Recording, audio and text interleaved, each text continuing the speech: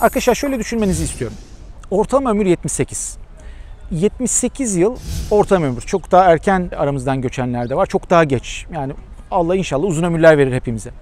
E, sağlıklı, varlıklı, huzur dolu. Peki ortalama ömrün 78 olduğunu kabul edersek, bugün kaç yaşındasınız bilmiyorum ama bugünden bu dünyadan göçeceğiniz güne kadar ki aradaki süre bundan sonra kalan gerçek hayatınız.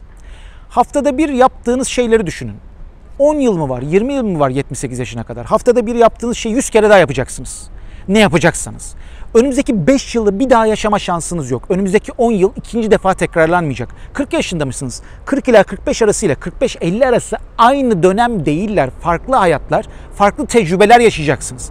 Hala her dakikanın değerini bilmek lazım.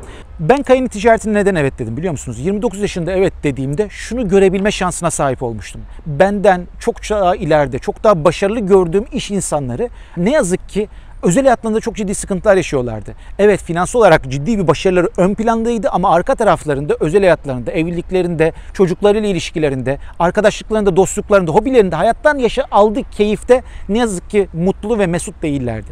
Kayın işini incelerken, videoları izle incelerken şunu gördüm. Kayın ticaretini bir kere kur, kurduğun ticarette insanlar düzenli ürün kullanıyorsa, senden bağımsız bu işi yapan insanlar geliştirdiysen, hayatlarına çok ciddi anlam ve değer kattıysan bu oluşumlar sayesinde ciddi bir pasif gelire ulaşma ihtimali ve imkanına sahipsin.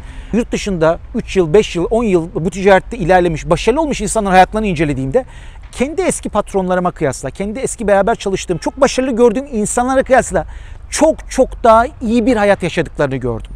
Zaman özgürlüğüne sahiplerdi. İstedikleri zaman, istedikleri kişiyle, istedikleri yerde olup işlerini devam ettirebiliyorken istemiyorsalar da bir şey yapmama özgürlüğüne sahiplerdi. Çünkü kurdukları iş, geçmişte koydukları efordan dolayı elde ettikleri ciddi bir geliri onlara gelir imkanını sağlıyordu. Hali bu yolculuk arkadaşlar sizin yolculuğunuz, hayat yolculuğunuz. Bir iş kurmayın, bir hayat inşa edin diye bir söz var. Eğer bu sözü sahiplenir, hayatınızın bir parçası haline getirirseniz zaman özgürlüğünün sizin için ne kadar önemli olacağını keşfetmeye başlıyorsunuz. Umarım hayatınıza anlam katmış mıdır?